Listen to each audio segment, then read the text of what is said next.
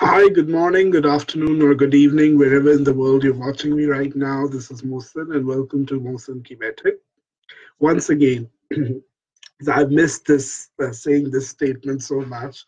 Uh, thank you so much for the wonderful response for uh, season one. In the past month or so, I have had a lot of friends and family members coming uh, to me and asking me when will the next season of Mohsen Ki be released most persistently my mother. So I guess here we go. Uh, I'm back with another series of five episodes this time. To be honest, uh, I did struggle this time to come up with a theme for the season.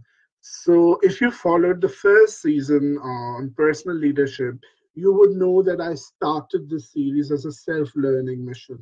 I really wanted to seek answers to a lot of questions which I would not think about on everyday life basis. For instance, what is humility to me? Why is it important to be kind? And so on and so forth. So that was sort of a personal mission, and I guess I succeeded in knowing myself better in that process. So if you're interested in uh, watching those videos, you can still watch them on Greenbox Facebook page or on the YouTube channel, uh, The Gul Twins. Right. So coming back to this season's theme, uh, we need drum rolls. the theme is sustainability. Now, it's all about going to be green, and I want you all to be part of this process and come along and see what is the next thing I'm curious about or passionate to talk about. And after a lot of deliberation, this is something I thought I really want to talk about this. I want to talk about sustainable lifestyle. I want to talk about environmental concerns. I want to talk about my passion for sustainable development and hopefully try to send some of it to you as well. So now I know it might sound boring or you may feel, what do I have to do with this? Trust me, this is a question every other person ask themselves when it comes to sustainability or technically jog, technical jargon words like sustainable development or why do I have to be concerned with environment when I have to feed my family, when I have uh, to complete my degree on time. I have so much going on in my career and personal life. I don't want to take stress about the planet also. Right. But you need to trust me here. You and you only are the person who has everything to do with it. We need to debunk this myth that you only have to save the planet if you're an environmentalist or you know something about it. Please note, we are in a state of planet emergency. And if you don't care about what is happening to the planet itself, maybe you care about what's happening in your backyard. So, especially if you look at Pakistan, Pakistan is one of the world's most water stressed countries. It's the sixth most populous country, but equally ranked sixth on the climate risk index, which basically means that if, if climate change gets worse, we will be first few countries to face adverse effects. Uh, Lahore and Karachi are already a few cities in the world which have the worst air to breathe. Our rivers are heavily polluted. Most of the aquatic life is dead in some of our rivers. Flash floods are rampant every year. These natural disasters are increasing rapidly and are expected to increase further in the future. But the key question is, and the reason why I'm trying to talk to you about this is what is 60% of the population doing about it? Yes, people like us, the young people of Pakistan, according to a UNDP survey, 40% of you young people think that the future of the country is bleak or not so good. That's quite alarming to me. I really want hope to sustain, and I guess the best way to do that is start improving oneself. So, through the ripple effect, we can try to reach out to other members of the community, especially our parents, uh, our siblings, our friends and peers, to see if oh, some of us would start improving our lifestyle for the better. I'm pretty sure uh, the effect is going to just uh, grow and uh, sustain itself. Right, being so I've I've kept I'm keep uh, I'm saying the words uh, sustainable lifestyle or sustainability. What does it really mean to be sustainable? Simply put, sustainable lifestyle is trying to live a life which is less harmful to the planet and you have enough resources for the future generations. These are two basic uh, elements of uh, sustainable lifestyle, at least to me. Now, you might hear this and you'll be like, yeah, but nobody wants to be that greedy. Of course, we want to leave a planet that is uh, less harmful uh, to us and for the future generations. But we're not doing that. We are in a state where we require almost two planets like Earth to sustain, but there's only one planet and there's only one you and there's a whole lot of many years hopefully that you will live and sustain. So how do you make yourself capable enough or the community around or the environment around yourself well suited enough for living a efficient and better life? So most of the save the environment guides or uh, articles i read online they're a very good guide in understanding uh, how to start living a sustainable lifestyle. So why did I decide to create a series around this? I could have simply shared uh, an article with you and that would have been it. But in my experience, I've seen a lot of these tips and tricks are not well suited to Pakistani lifestyle. For example, uh, one way to cut down your carbon footprint is to take public transport instead of driving car. I'm pretty sure there's not a single person, in, at least in my social circle, who would do that purposely, probably because the public transport system is not that great, or something like uh, do online shopping instead of taking a trip to the market. But you know, the online payment system is not well developed yet and is still uh, developing in Pakistan. So most of the people prefer shopping in person. So a lot of such tips do not really apply to uh, a middle class or a higher upper middle class person in Pakistan. Uh, so in the next two episodes or so, I will give try to give you examples of how we can fit sustainable living in our daily lifestyle. I have tried to identify little things we can start doing to change for better. Now, there's a word of, of caution here. Nobody's asking you to prove a point by doing so. You are doing it for yourself and your future generations. If people get encouraged by your actions, well and good. But don't be pain in the ass and force people to make these changes because that's not going to sustain. Let them make these choices consciously, and you will see that once they once you start doing it, people would be encouraged to do the right thing as well. I guess the next obvious question is where do we start? If I won't tell you where to start, I'm pretty sure our Desi parents or uh, fathers, especially, would tell you where to start. Like since my childhood, we've heard this: switch off the lights or electronic appliances if you if not in use uh, Bill Tera Baap Dega and sort of stuff, you know. So we are pretty much uh, used to listening to all this, but how much do people apply this in their daily life is another questionable thing. I have so many friends uh, who have literally never switched off their laptop or chargers are always uh, in the power socket and the switch is on, even if something is not being charged. So being a little considerate here can save definitely some money, but also be good for saving energy and saving the environment in general. So these are some of, at least in terms of uh, energy uh, conservation, we all have in place very important, little but very important role that can help uh, solve the energy crisis in the country ultimately. Uh, I can see there is a question for me before I go to the next use how does Greenbox uh, help achieve uh, SDGs, especially in regards to climate change and sustainable lifestyle?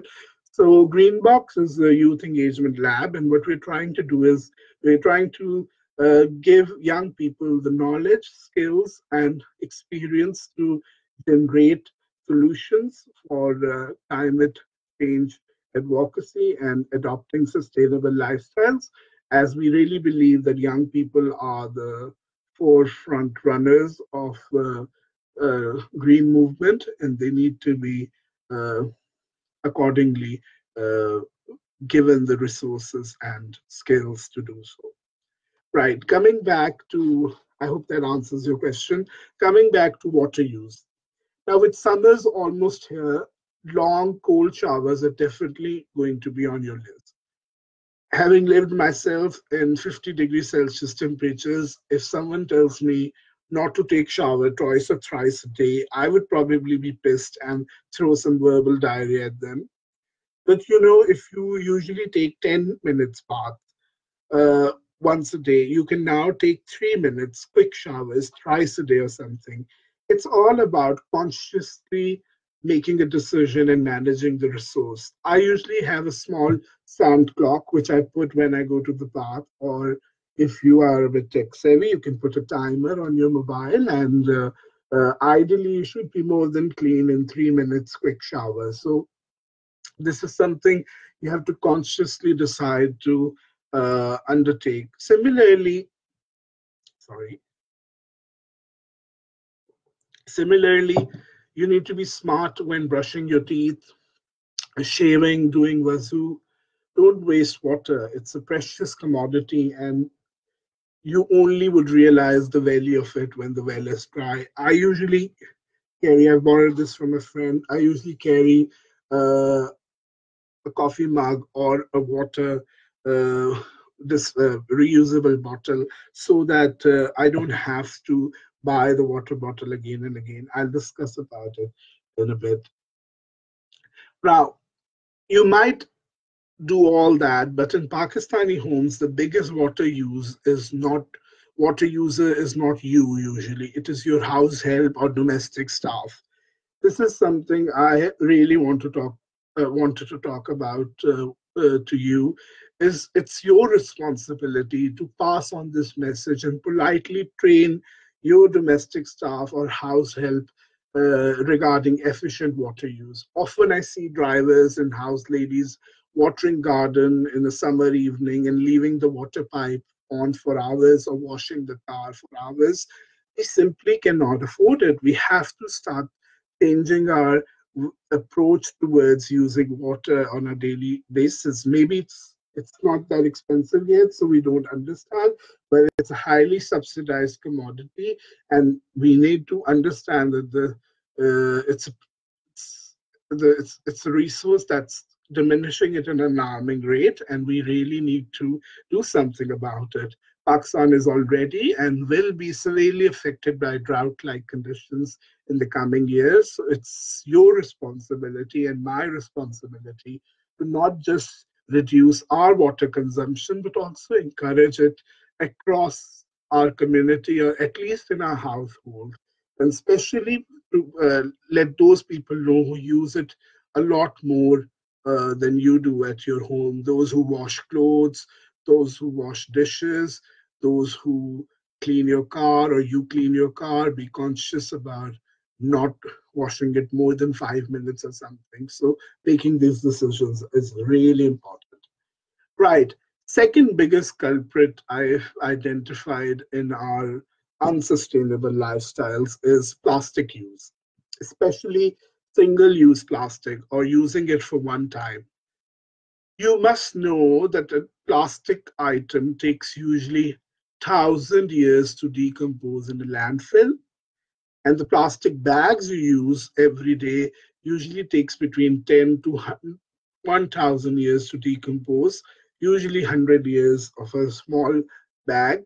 Would you live until then to see for just one bag you use where did it end up and while plastic bottles can take up to 450 years or more so next time you want to drink your Nestle mineral water or uh, some drink, maybe consider installing a filter at home and refilling your bottle uh, something like this when needed because the plastic bottle ain't going anywhere. I often think people, the biggest reason for this is out of sight, out of mind, is the root cause of all this trouble.